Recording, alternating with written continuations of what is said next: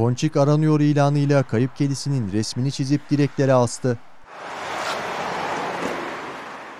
Henüz ismi belirlenemeyen çocuğun yaptığı davranış hem duygulandırdı hem de şaşırttı. Seri'nin Akçaalan mahallesinde esnaf olan Kadir Kızmaz ilanı görünce duygulandığını söyledi. Kayıp ponçik olarak tam buraya belirtmiş zaten. Yani görenlerin, duyanların yardımcı olmasını istiyorum.